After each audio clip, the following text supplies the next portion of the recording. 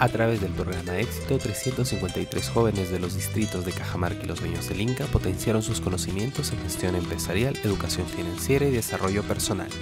Yo creo que cuando uno interviene en la cabeza de la gente, intervienes para siempre. Cuando tú, eh, más que un conocimiento, le das una actitud, estás logrando que la gente cambie para siempre. Verdaderamente un éxito, eh, una oportunidad para eh, para poder avanzar, para cada día conocerme más a mí misma, saber de qué y demostrarme cada día más, ¿no? De que puedo lograr todo lo que yo me propongo. Me han dado capacitaciones, charlas, ahorita estoy ya creciendo. En menos de, de, un mes ya estoy ya en lo que he podido hacer este eh, años atrás, ¿no? Dando nuevas ideas de cómo deberíamos cambiar toda la situación, no ser siempre una persona común, sino ya diferente, eh, tratando de innovar ideas. Capacitándome, dándome muchas oportunidades para guiándome en todo el camino, en el aprendizaje de cómo mejorar mi negocio y también con el capital semilla que me está dando actualmente.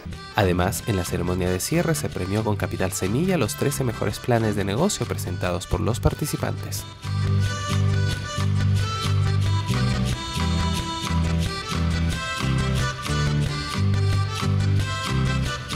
Bueno, contentos, muy contentos desde Aprenda, desde Somos Empresa, con el programa Éxito, eh, por varias cosas. En primer lugar, creo que había una confluencia pública y privada. El, el municipio provincial, la Cámara de Comercio, y Cocha, Asociación Los Andes, Aprenda y los fondos públicos que eh, se dan en Fondo Empleo. Eh, un esfuerzo muy importante, ¿no?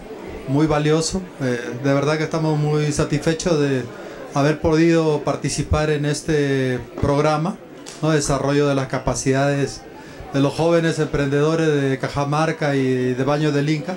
Bueno muchachos, emprender es una forma de vivir, es una forma de enfrentar la vida. Ustedes no tienen que esperar a que alguien haga las cosas por ustedes, sino hacerlas.